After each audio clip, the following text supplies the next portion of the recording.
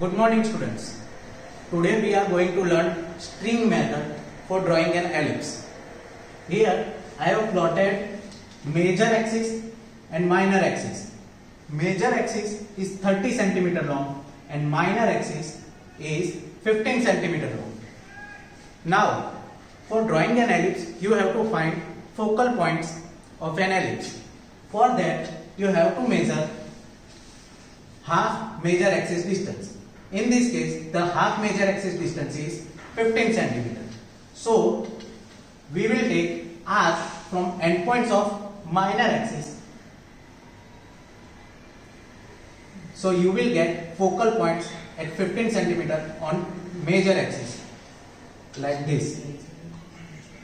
And after taking focal points, I will plot this string on the focal points.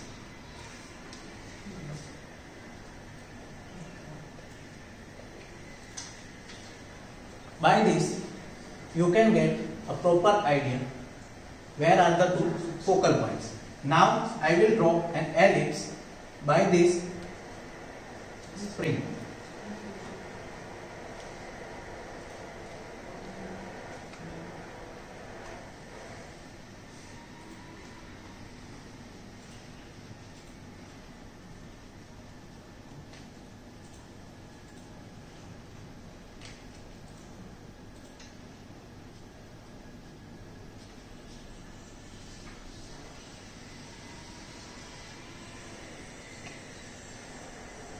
So you can see we can draw this by the string as well. Thank you.